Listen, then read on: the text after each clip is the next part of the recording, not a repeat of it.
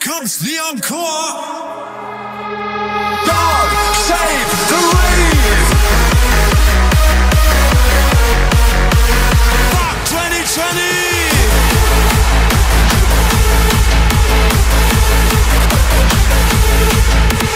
Yeah, yeah, I feel hardcore.